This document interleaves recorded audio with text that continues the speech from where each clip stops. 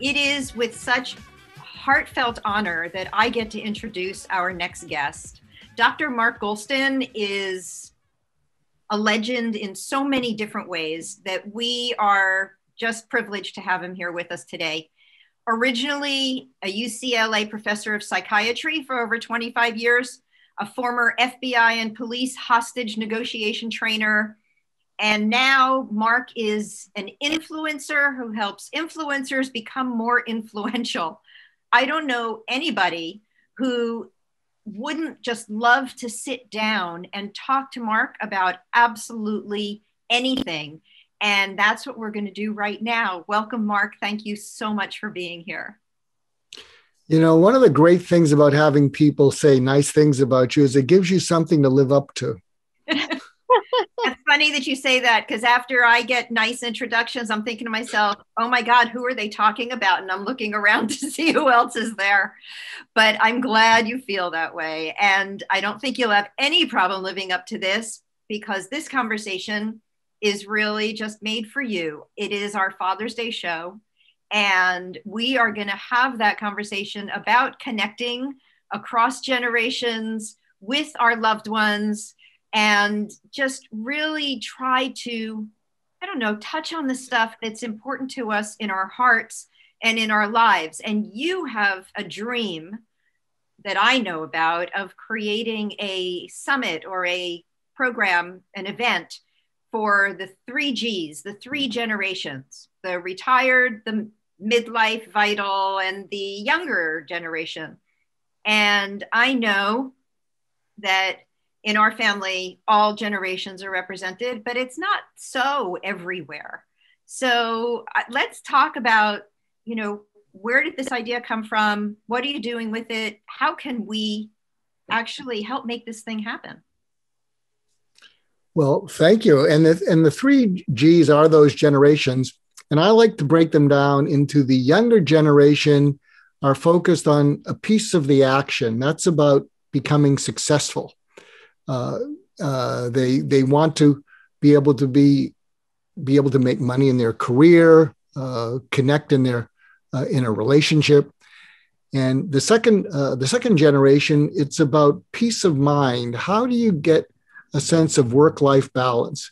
You know, in this day and age, maybe you've been divorced, but you don't want to keep getting divorced. And how can you also balance out taking better care of yourself? You know when you're in the younger generation it's amazing how you don't have to look after uh, your health as much as you should. And so that middle generation is a, a peace of mind balancing everything. And the final one is peace on earth. And i'm i'm i'm at that stage of my life because i start to think about you know did i do enough for the world? Um, why was I here? Um, and again, a lot of our focus is: Did I do my best in raising my children? Uh, was I was I present? Was I able to balance being a bit of a workaholic, but also being able to give my family my undivided attention, uh, which is often a challenge, you know, because a lot of times when you're in the that younger generation, uh, you're you're not able to focus on conversations. You're not able to be entirely present, and we can frustrate the people that we love. And one of the dangers you run into, and you'll see this with some people who were very successful, but they were a bit workaholics, is that their families kind of substituted in. You know, if if you're fortunate, they substituted in other friends, maybe parents of friends that they could connect with uh, you hope that they didn't substitute in drugs. But often, once they've substituted that and you are retired and you say, I'm available, I'm available, you know, that bus has left. Mm-hmm. so, how do you reconnect with them? Well, it's interesting. And you told we, a story earlier about when your family gets together and the two younger generations are all checking their phones. And then you reach for your phone to check yours because you're being totally ignored. And they're like, wait a minute, you're checking your phone. Yeah. like there is a double standard. And then, of course, you know, how do we cross that divide? How do you get people to put their phones down and actually connect? Well, uh, if you if you look behind me, there's a there's a poster of a. I've written a bunch of books, and this one I seem to be best known for, and it's about how to how to be a better listener. Mm. And uh, about a year and a half ago, I spoke in Moscow with a Nobel Prize winner named Daniel Kahneman, uh, who wrote a book called Thinking Fast and Slow. And my books have done pretty well in Russia, so they had me there. But my whole focus in that presentation to about a thousand Russian business people, and I've been trying to teach this around the world, is that if you can focus on what people are listening for and just be curious about what they're listening for without trying to push your agenda on them, people lean towards you. So, for instance, I'm guessing that your viewers and your listeners, uh, if they're slightly older, what they're listening for is can you give us insight into ourselves? Can you give us ways to have a more fulfilling life now that we've transitioned? Can you give us information that is doable by us immediately? Uh, can we take something away that we can use today to make our lives better? Uh, now, I may be wrong, and you know your audience, but if you can just be curious what people are listening for, people will lean towards you. So if we did this summit, what I would love to do is have the different generations kind of ask each other, what are you listening for from our generation? Find out what they're listening for. Uh, I, I, something else I would love to cross the generations is to have people share what is something that my generation doesn't understand or appreciate about your generation and that we always get wrong and, and see what kind of conversation that that could create. You know, Mark, yeah, I'm rem- me like all these questions. You should be putting together a little box set of dinner questions when the family gets together, because this would just generate that conversation around the table when everybody is present. You could open up a whole new level of connectivity right there at home. Well, I'm going to tell you about a future guest you're going to have on your show. His name is Greg Gregory Stock, and he wrote a book called The Book of Questions. It was an iconic book about 30 years ago, sold millions. And he's a scientist. It was something that he did on a lark, and it's probably the most famous thing that he's ever done. But part of what he's working on now and he and he and he's be launching it, and people will be able to sort of check it out. Is a game built on questions because what he's trying to do is involve people by having better conversations. So I'll give you an example. One of the things that made me crazy, the kind of question, uh, and and this is, and there'll be all these kinds of questions that you pose. So the first one that caught my attention is he said, imagine you're uh, in a restaurant and you're a young person and uh, and two tables away from you is either a man or a woman who is the perfect fit for you.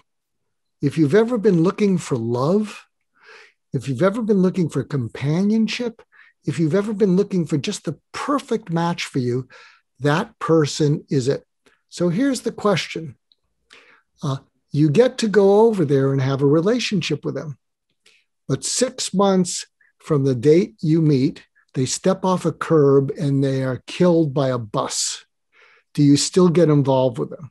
That's I think that's an um, that's an amazing question. That's an, it, seriously like that says so much about who you are as a person. Your answer to that. Oh yeah. Oh yeah. I, I mean, I just thought this is amazing. Well, would you rather have loved and lost and had perfect love, and or, or would you not want to? Um, but but it's going to be filled with questions like that. And so you'll have when he fully launches it you'll have him on the show. But it's just uh, uh, because he be- he believes what happens is we, we've lost the ability to ask questions that cause us to want to be curious and engage with each other more.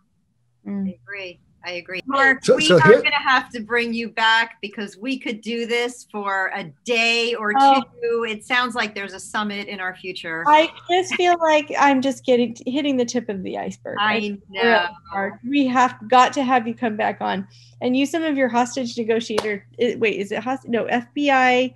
And hostage. hostage. You were a hostage negotiator. So, oh no, my there's so he, there, it, the depth is unbelievable. We uh, we have yet to touch the tip of the iceberg. Will you please come back and give me more advice? I would absolutely do that. Uh, Do I have time? Do I have one and a half minutes to give you two absolute amazing hacks, relationship Yes. hacks? And please, please, Lord, just one and a Okay, half. I'll, I'll- Okay. I'll do it quick. I'll do. I'll do it quickly. So, so uh, what am, what will help a relationship is if a man says to a woman, "Have I ever made you feel that you're not worth my undivided attention?" And mm-hmm. every woman has felt that. Mm-hmm. And when the woman says yes, uh, and if you ask the woman, how frustrating and upsetting is that at its worst? If mm-hmm. you're lucky, the woman will say it's pretty bad. If you're the man, you say, and you see the pain, not the anger, and just say, I'm sorry, I'm going to do better. And for the woman, the hack is you can say to the man, Have I ever made you feel that whatever you say or whatever you do is wrong? Mm. you know because because men often feel that way. No do it this way. Why are you doing it that way? No you shouldn't be doing this. But the point is you're inviting the other person to get that off their chest. And when you can see this the, the underbelly of hurt underneath the anger it can be a breakthrough Oh my gosh, which is just exactly what I just described to you about our common argument. Thank you so much, Mark. I really appreciate your time and and learned so much today. And Lauren, always the best guest. Always. Mark how, Mark, how can our viewers find you? Where can they get more information? I want them to see your books and everything else that you've done. Well, uh, go to markgoulston.com because I put stuff up there. Um, I have a new course out, a new audio course on Himalaya.com, which is an audio version of Masterclass.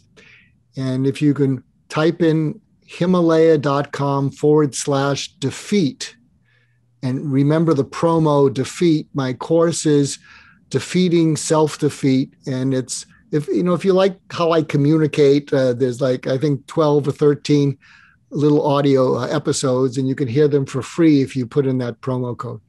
Super. Thank you so much, Mark. I know we're going to be hearing from you again, and we really appreciate you coming on today. Well, thanks for having me, and uh, happy Father's Day and belated Mother's Days. Absolutely. Happy days all, and we'll be back.